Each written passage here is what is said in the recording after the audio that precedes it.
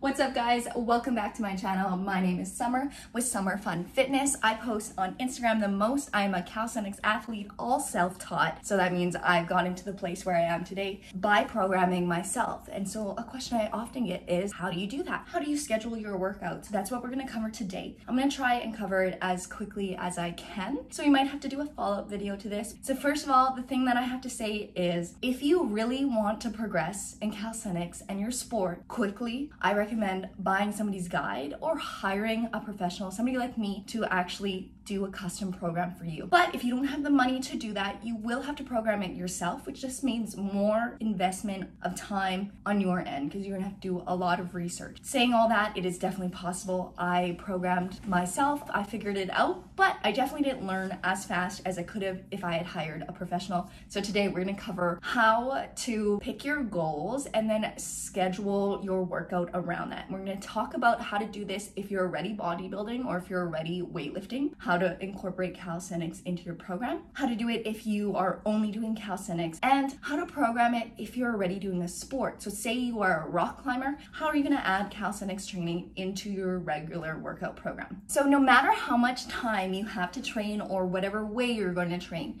you do have to start with knowing what your goals are. And that is how we're gonna schedule your program. So, what I want you to do is sit down, carve out 10 minutes of time, and I want you to come up with what is your main goal? What is the main goal? Because we have to break it down to then create your workout program. But I also want to encourage you to have a balanced body. So that means that I want you, if possible, to also have push goals, pull goals, and mobility goals, as well as your skill goals. So you might have to, it might take some time to create this, but what is gonna happen is, say for me, right now, most of my goals are push based, but I still need some pull goals in there just to keep my body balanced, but they're just gonna be very minor compared to my push ones, and I'm just gonna have them in there to keep my body healthy. Because if you only do pull or you only do push, you're gonna end up with some imbalances and some issues with your body in the future. So it's good to have a balance there. I know that some of you might have trouble figuring out what your mobility goals are. How we figure that out is first we come up with your main goal. So say your main goal is to get a handstand. This is just an example. Your main goal could be to get pull-ups or push-ups, things like that. But say your main one is a handstand. So then we're gonna create mobility goals based off of your main goal. So for handstand, you need to be able to have very open shoulders. So you need wrist and your shoulder to be able to be in a straight line. Most people would be at this range, so we need to open it up. And also, say if you wanna do your handstand press, it's gonna be much easier if you have hip mobility. So you wanna incorporate hip mobility. So if my main goal is a handstand press and a handstand, my mobility goals may be working on my shoulder and working on my hips. An example would be a pancake stretch, and that is where you have your legs open and your goal is to get your tummy down. You might not be at that point yet, but that would be the goal. Now that you figured out your main goal, you would spend some time breaking that down. So for me, say my main goal right now is a one arm handstand. Obviously that is a little bit high, like I'm not at that main goal. So there's some little ways to break it apart. So it maybe be like for me, just being able to shift the weight from one shoulder to the other. And then the other one would be coming up to fingertips and then coming up to four fingertips and so on. So you break down your goal and that's gonna help you create your program. And then just make sure you have a balance of pushing and pulling and then as well as your mobility and always always good to have legs in there too and also some cardio we definitely want a balanced body and a happy heart and to be honest, your goals don't have to be so big. Your goals could be, I wanna walk up the stairs easier. So that could be your cardio goal. I wanna climb five flights of stairs without running out of breath, or um, I just want to be able to do five push ups. So they don't have to be these humongous goals, they can be these smaller ones that lead to a bigger goal down the road. Like if you want to do handstand push ups one day, your goal maybe now would be to get good at push ups and to get good at a 10 second handstand. And then you slowly build up that way. But it is important to have goals, but yes, they don't have to be as crazy as a one arm handstand. I think I'll have to make another video on how to goal set, but basically to start, write out your main goal and then write out some goals for the opposing muscles. So whether it's a different pull goal or mobility, also have cardio and some legs in there. Legs are very important. Even if it's just a small amount, you still want to be able to train them at least once a week or just add them into your full body training. Okay, so now that you have your goals picked out, we can start to figure out how we're gonna work towards those goals. And in order to do that, we need to know how often are you gonna be training and what split are you going to use in order to achieve those goals. But basically, you take your goals and then we're gonna break them apart into pushing goals, pulling goals, our mobility, and our flexibility. And then once you figured out, hey, am I gonna do a push pull legs? Am I going to do a full body? Then you can pick your exercises appropriate to your goals. You'll have to take a look at the goal that you have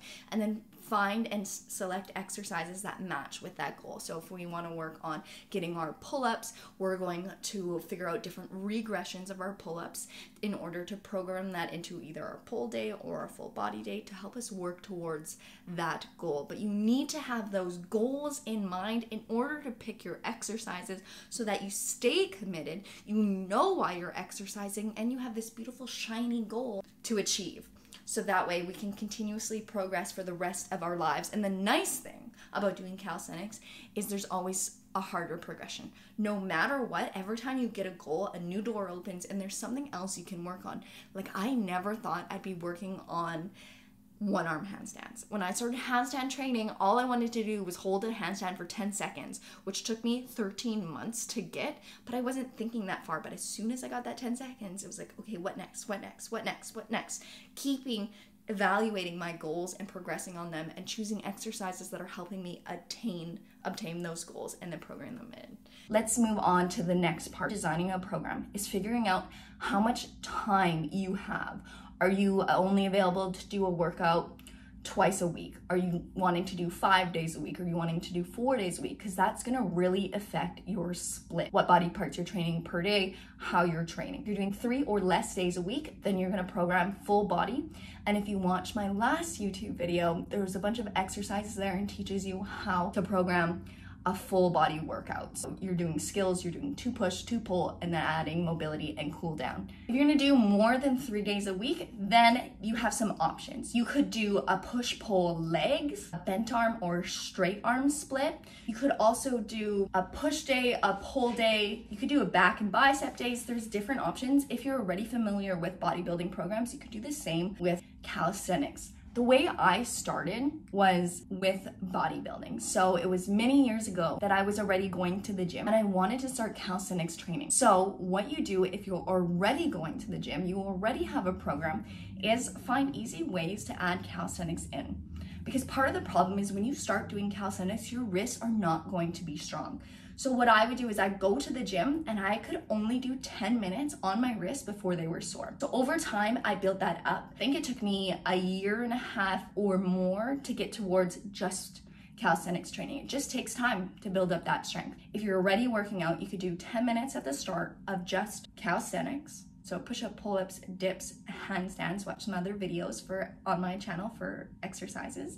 And then during your workout, add in calisthenics. So if you're doing tricep extensions on a cable machine, what I would do is I would just superset with calisthenics. So we do tricep cables and then drop on the ground and do tricep push-ups. So I'm actually working on my wrists. I'm still having that muscle fatigue. I'm still working on hypertrophy, but I'm also working on my whole body coordination by adding in those calisthenics movements. If you're already weightlifting, just think of ways to superset with calisthenics and also have 10 minutes or more of just calisthenics at the start or at the end. And if you're already bodybuilding, make sure that you have some calisthenics goals. You want to be able to do muscle ups or pull ups. Again, if you watch my how to train calisthenics video or how to start calisthenics video, you'll have more examples there. Also, if you're a bodybuilder, I would highly recommend having mobility goals because when you actually increase your mobility, you're gonna get much stronger. You're gonna have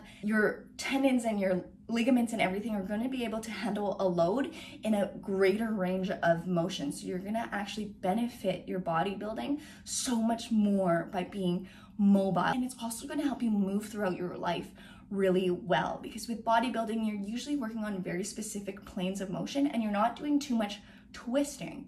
So it's really good to work on mobility to make sure that you can elegantly get off the ground and use the strength that you've developed through bodybuilding. But just make sure that you're mobile and you're moving. So if there's any tip I would have on your bodybuilding, it's to add in mobility training. But that's an easy way on how to incorporate it into bodybuilding, what you're already doing.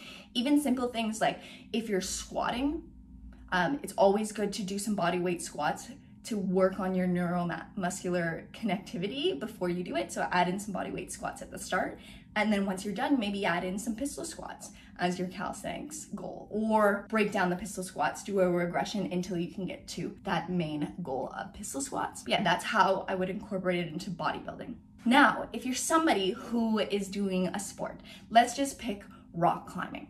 If you're doing rock climbing three times a week and you want to work on calisthenics, take a look at what you're already doing. If you're doing rock climbing, you're doing a ton of pulling movements. And if you only rock climb, you're gonna end up with a really developed back and an underdeveloped pec. So that's gonna mean that your shoulders are gonna roll forward and you're gonna have some postural issues. What we would want to do is use calisthenics as a way to balance out your body. So if you're doing three days a week of rock climbing, of pulling exercises, I would have pushing goals.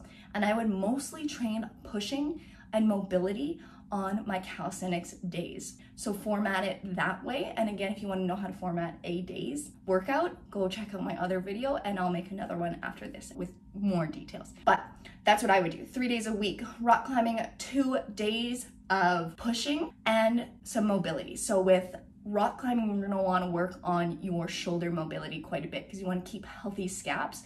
So you might be doing a lot of scapular pushing and some push-ups and other things like that. But it doesn't have to be rock climbing. It could be you play soccer three days a week and now you wanna work on your upper body because soccer is working on your cardio, it's working on your lower body. So then you'd wanna supplement it with calisthenics upper body. And so for that, if you're playing something like soccer, you might wanna have full body days on your calisthenics days. So we're doing two push, two pull, and your mobility because you wanna make sure that your hips are working well and your knees and your ankles are healthy for your sport So if you're brand new to working out, you're going to find that it would probably be best to hire a coach, somebody who's going to help you work on developing control over your body. There's something called neuromuscular control, and that's ability to actually connect with that muscle to cause it to contract. And it takes some time to learn. Usually, beginners will actually see significant progress in the first eight weeks because they start to develop that connection. Where somebody who's already been working out, our progress is quite slow. As a newbie, you get all these gains right away as you learn to control your body. So it's actually pretty rewarding to start as a beginner.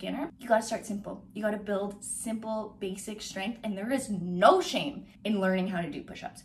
No shame. No shame. Doesn't matter if you are 50 and you've never done a push up, doesn't matter just start. Don't worry about other people's journey. Don't worry that other people are ahead of you because no matter what, you're always going to be somebody's goals. Always. There's always going to be somebody who wants to be like you. So don't worry about it. Just start. This is for you and for you to live a better life. So if you can't do one push up, it's all good. We'll get you there. No problem, no shame, especially because if you have shame around doing basic exercise, it's gonna be so hard for you to progress because you're gonna be thinking negative thoughts. Instead, you have to think, I can do this, and I'm so excited for the day that I can do a full push up or pull up, things like that. So if you are a newbie, I would probably do a full body split, very basic, and you wanna be working on the same pattern. So you don't want to be programming a bunch of different exercises all the time because we need to work on connecting with your body. So basic things like regressions of push-ups, pull-ups, dips, and squats, that would probably be a beginner's goal. Just work on those things, on mastering those things, and then work on your whole body mobility. If you're somebody who sits a lot, like me, I work a 40 hour a week job at a desk, I would recommend working on your mobility and as well as your thoracic, working on your spine because it's hard to keep this rolled back um, when you're working, even if you're at a standing desk. But doing things like cat cows, hollow bodies, uh, scapular push-ups, where you're just moving your scaps, you can do the same with pulling. But yeah, we'll talk about that in another video. Oh, your other option, if you're gonna do full body, is to do push-pull legs. I would recommend as a beginner that you have breaks, say you did three days a week, you would have a rest day in between to allow your body to recover. Recovery is important. You don't want to go ham like so hard so that you actually regress in your strength because it was just too much load for your body. So make sure you have planned rest days no matter what level of fitness you are at so that you can actually heal and progress because we're going to create these new adaptations in our rest periods. So there's some things that everybody can do every single day. And those would be if there was one thing I was to recommend I would start working on hollow body holds. No matter who you are, if you want better core control and to move through your life easier, you need to be doing hollow body hold. And you can do regressions and progressions of that, but I would do that every day, if not twice a day, just so that you actually start working on controlling your core because our core connects everything. This is like our foundation. All of our arms, our legs, everything connects off of our core. So we need to have excellent control there to have control of our entire body and move through life easier. So yeah, I would recommend hollow bodies for sure. I know that this was a quicker video and you probably have way more questions. So let me know in the comments below what you want me to cover next. I was trying to do this quick, but you know, I never do this quick because I always have so much information to share. But we'll talk more in the future. Please like and subscribe so I can quit my day job. But anyways, thank you. My name's Summer and follow me on Instagram for daily stuff and I'll put some video recommendations here for you to watch next. Thank you for joining me guys. Bye.